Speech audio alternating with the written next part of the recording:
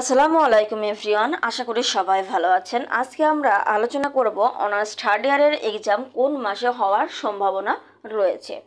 তো ইতিমধ্যে কিন্তু অনেকেই আমাদের নিকট কমেন্ট করেছেন যে, আপু অনার্স থার্ড ইয়ারের এক্সাম কবে হতে পারে? তো এর মধ্যে আজকে কিন্তু এমডি শাহিদুল ইসলাম শাকিল নামক এক ভাইয়া আমাদের কমেন্ট করেছেন যে, আপু এক্সাম কবে হতে পারে থার্ড ইয়ারের তো এই শাহিদুল ইসলাম শাকিল ভাইয়ার কমেন্ট দেখা মাত্রই আমরা ডিসিশন নিয়ে নিলাম যে, আজকে এই নিয়ে একটি ভিডিও করব। কেননা ইতিমধ্যে অনেকেই আমাদের এই নিয়ে কমেন্ট করেছেন যে, আপু অনার্স থার্ড ইয়ারের এক্সাম কবে হতে পারে?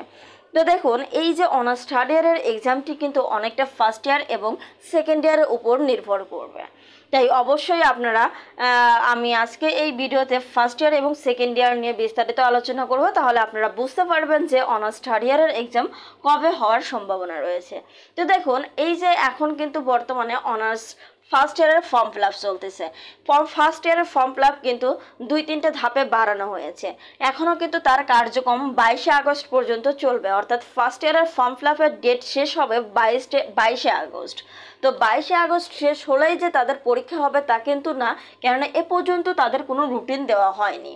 তো বিষয়টা হচ্ছে তাদের কিন্তু এক্সাম আসতে আসতে দেখা যাবে যে সেপ্টেম্বর চলে আসবে, কেননা আপাতত ফর্ম ফিল আপ শেষ হওয়ার পর দু সপ্তাহ সময় নেবে।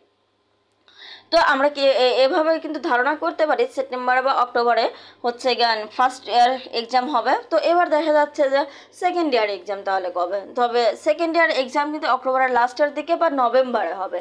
তো সেই অনুযায়ী আমরা ধারণা করতে পারি যে অনার্স ফার্স্ট থার্ড ইয়ারের এক্সাম কিন্তু দেখা যাবে যে ডিসেম্বরের দিকে বা জানুয়ারির দিকে হবে। আশা করছি আমি বিষয়টা আপনাদের বোঝাইতে পারছি।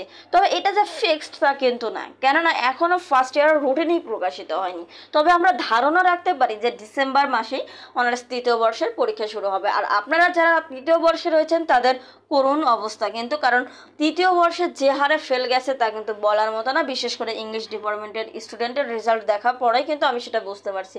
তাই আপনারা যারা সে থার্ড ইয়ারে রয়েছেন, তারা এই মুহূর্ত থেকে এখন থেকে পড়াশোনা শুরু করে দেন এবং ডিসেম্বরে আপনারা এক্সাম টার্গেট লেগে পড়াশোনা শুরু করে দেন। আশা করি আপনাদের অনেক ভালো হবে।